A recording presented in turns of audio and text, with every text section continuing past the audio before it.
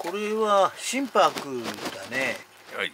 ちょっとねあのー背高かったやつをこう、まあ、丸めて小さく作ったんだけどあのーちょっと急なこういうあのーある種びっくりするような曲げ方するとね木もさこうやって杉っぱんなんだよね、だけどこれ今年私から治ってきてるこれううん。治ってきてるからね。ただこの杉っぱが治ったわけでないんだよね、先の新しい芽が治ってくんだよね、だからこれをねある程度取って次出てくるやつはこの葉になるんで、ちょっとこの杉っぱ抜かなきゃなんないから寂しくなるんだけどね。これをあくまでも小さい鉢ってねこれ以上小さくしたいんでね。こういうスタイルにしたいわけです。こういう鉢にこう入れたいんですよね、はい。これねそれでですね一応これ2年ぐらい前に針金かかってるからねこれかすかに見えるかもしれないけどこれね一応真面目にびっちりかかってんでこれちょっと今ねこれ外します。これこ針金よりもこの木自体が柔らかいから木を動かしてもいいんだよね。ちょっとねこういうのはあの白い針金ニュームみたいのがいかったな。これちょっと木の色と同じになってっからはあちょっと針金探すの大変だなこれ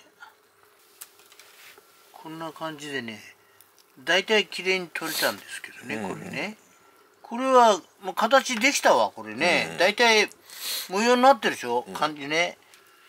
このこれぐるぐる巻いたとこ。これねこれは昔ねあのあれなんだよ。田んぼの谷師っていたんだ。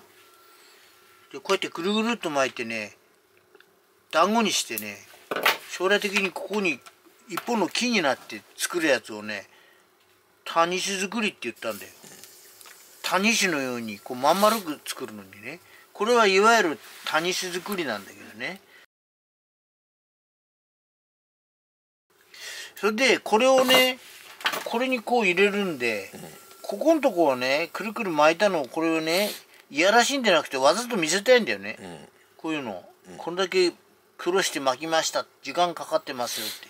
こんな風に植えたいのさ、これこれこういう感じね、それでちょっと枝がねあのーこういう若い木はあんまり小さいうちから剪定してないからね、ある程度元気になってから剪定するんでね、今度はこれに植える時ね根も今多少切るんでね上も少しこうねこうちょっとコンパクトにちょっとこう杉っぱらしきとこを落としてさちょっとこうあれしましょう。スマートにしましょう。これちょっと伸びてるでしょ。で特にこういう元気のいいとこはね思い切ってね、うん、思い切ってやっとかないと他のとこ元気よくならないのさ。これここだからね。この枝でしょ？この枝元気よくあんまりしちゃうとね他のとこダメだから。ねここでこう落として。このぐらい思い切って切っておかなきゃこういう感じです。こういう感じです。これ全部杉っぱだけど少しは絶対緑には残さんきゃダメなんだ。ああちょっと残していかないとさ水欲しがってるとこに水うん。いらないって思われてるでしょ、下のポンプが、そうするとさいかないもん水ね。ちょっと残しておけば何かかにかやっぱりあれさ送ってやんなかったらさ、本体おかしくなるから、やっぱり救援物質と同じでねちょっと送ってやんないとねダメなの、これこれ上がいらないって言ったらねポンプ送んないんだ水、これだけどあれだよねよく小さくそこそこなったよね。これ感じはいいよね、それでですねこれはこれでいいんだけどこの鉢に入れます。はい。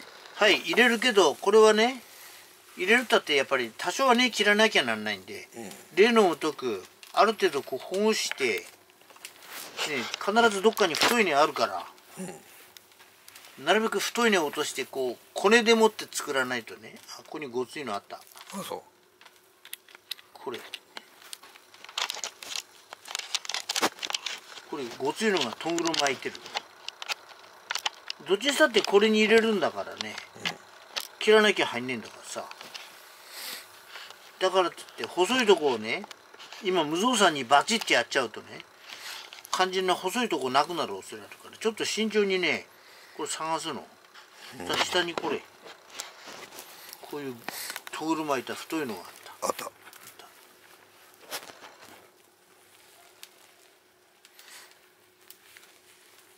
まあ心拍自体はね、どこ刺してもあの刺し木でさ、つく刺し木で増やすんだから、うんどこでも根っこ出てくるからね、うんそれはねそう心配ないんですよ根切るのは、こういう感じですね。してここにこういってこういうぐるっとこういってるねここにね。こっから根が太いのがいってるね、それでこれをねバツッと切っちゃうと上に根ないんですよ、うんなるほどね。その時はねもう一回こっからね、これはどっちにしても入んないから多少は切る、全部切っちゃったらダメだけどもこれこのぐらい長いのね、でちょっと上の方の根を少しこう残しておいてね。これちょっとこれ全部ちょっとい入れてしまえばいいんだけどちょっとねちょっと入んないし、根だけじゃまずい土入んなきゃいけないからね。これちょっとこう切るでしょ。こうやってね。これを落としてこれだけ落としちゃうでしょ。そしたらさこれこう入れるとこういう木になっちゃうね、これでは味わいないんでこれをちょっとまたねここでこう針金なり何なりでねこういうふうにここでこういう曲げ方しておくわけ。ですよ、こういう曲げ方、だからここにこう入れたらこれがこうなるわけだよね。そのためには下から針金出してこれを押さえてやらなきゃいけない、ね、でそれはねまずね土どうとらこってるよりまずこっちの細工だね。この根を大事にして、これから下からつ針金かけて、ここに通してぎゅーっと引っ張ってパチンと止めると。へそういう方法だね。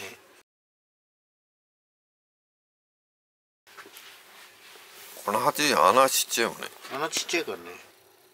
これはねこれこう出すよ。こうやってね、それでねこれはもう最終決定だからね。これこういうふうにしてこう入れる入れちゃう。こう入れるここまで。だからとりあえずこれをそろっとこう入れてここがいいんだ。これでこういくね。でこういったらこれでこれで抜けねえはずだけど。こういう感じね。はい。よし。そしてこれこう。これ曲げて。でねこれだけでねもういかないけどね、うん。ちょっとこう心配なやつだ。ちょっと一回もう一回曲げといて、でここで切っておくと。こういう感じにしておくんです。よこうやってね。それでこれこの下はさこれもともと幹だったもんなんだけど、うん。これね、なんとなく粘りっぽく見えるでしょ？これ、これ要するにここに団子っぽくなるわけ本体が、でこれは本体はみんな中に埋め込んじゃってることになるからね、でいずれこういうとこからいっぱい根出るから、最終的にはこんな太い木から枝が出たように見えるんですよ、これは。それを目的にこう谷巣作りってこういう感じね、これどっから見てもいいんだけどこれはもう上はこれでもう針金かけないから、一応こんな風な感じでね。はいこれでいく？何でいくこれあの極小よりこれの方が小さいんだ。よあそっか。よこれ。これ。小さいね。ね。これでいいわ。細流だね。細流。極細流。よしもう少し。ええよ。これそれだけあれば間に合うべ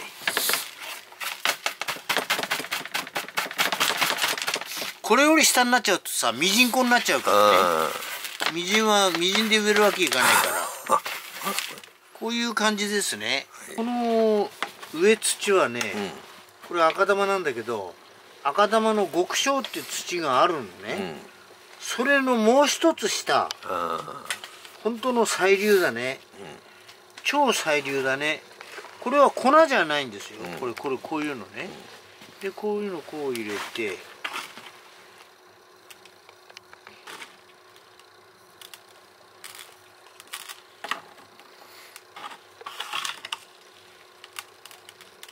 ういう感じですねちょっとこれ先がねはい。うちのやつはね俺がやれば切れるんです。うちの係長やったら切れない、う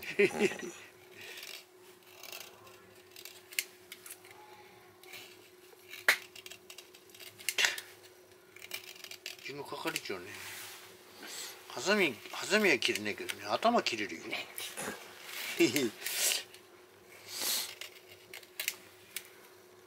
頭切れればそれでいいんですよ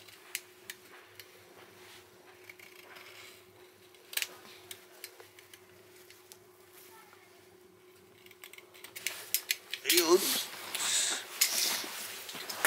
さあ最後の仕上げ。これちょ係長ちょっとこれね上からねパラパラパラっとまぶしてちょうだい。なんとなく入れてちょうだい。みんな浮いてくるからねがね。よよし。い手元に入れてください。この箸の手元に。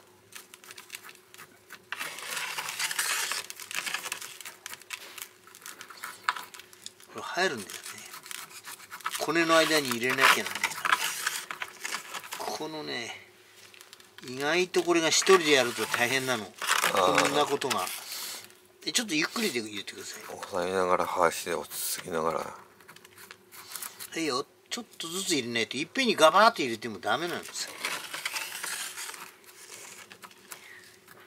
大木大木の木植えるよりうん。神経使うんだよ。あの時間と手間かかるんですよ。はい OK はい今度はここですね。はい OK よし。こんなとこでねあとはたっぷり入りました。はいあとは水をきちっといるわなこんだけの鉢だから、こういう感じね。はい。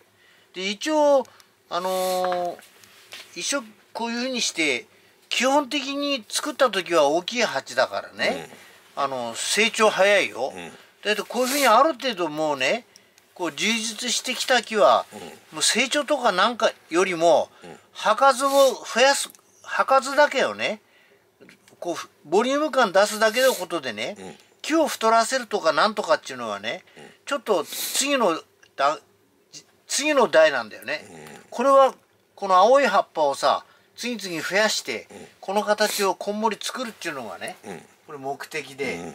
だからあとはあのそんなに難しいことはないけど水やりが大変ですけどそれはだけ気をつければ、はい。あとはもう大体7割8割できてる木だから、うんなるほどね。こんな感じでね。はい。ちょっと濡らしましょう。こういう感じです。もう下から出てたね。はいもう出てきました。こんな感じで完成です。はい